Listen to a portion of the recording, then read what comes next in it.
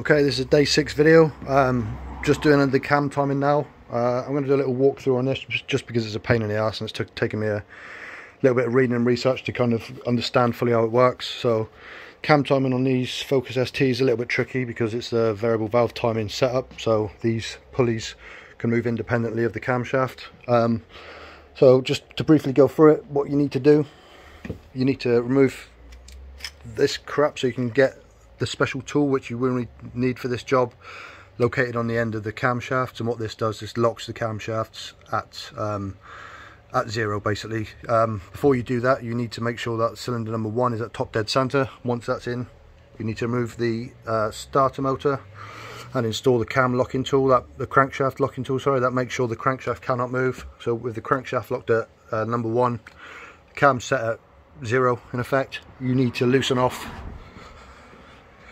the pulleys. These are loose now, these are free to rotate.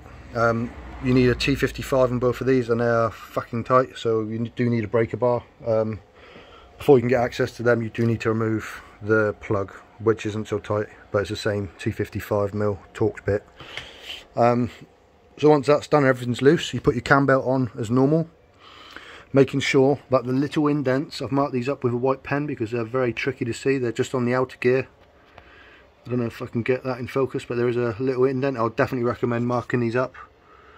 They need to be in line with that notch okay? It doesn't look like it's in line now because these are actually floating through the cam and I haven't tensioned up the cat tensioner. When I tension up the tensioner in a second that's going to pull it around. So that will move. Once that one is in line and that one is in line your tension is set then you do up these. These are just hand tight at the moment so that's just loose free to spin. So that in effect is loose from the camshaft. Um, that's it. It's a, it's a long-winded process but it's worth doing doing right especially like like I have. You've had, I've had the head skimmed. Um, even a, you know a couple of thou off the head is going to affect the, the geometry between the, the crankshaft and the camshaft.